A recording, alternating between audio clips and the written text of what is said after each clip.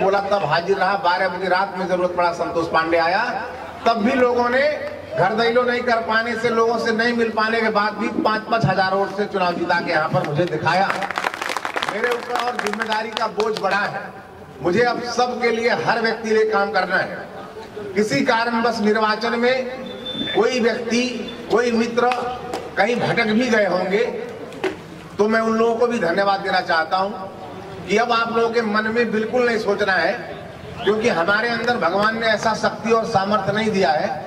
मैं पहचान नहीं पाता हूँ कि जब बक्सा खुलता है तो उसमें वोट जो मिलता है, उसमें नहीं समझ में आता है मुझे कि कौन दिया, कौन नहीं दिया। तो इस नाते मैं कहता हूँ, सबने दिया, तब मैं जीता हुआ हूँ। इस नाते सबके सेवा के लिए आगे बढ़ूँगा यहाँ पर दल, कोई दल का आदमी विपक्षी पक्ष, सत्ता पक्ष, प्रतिपक्ष, निष्पक्ष निष्पक्ष तरीका से आगे बढ़ने के लिए आया हूँ।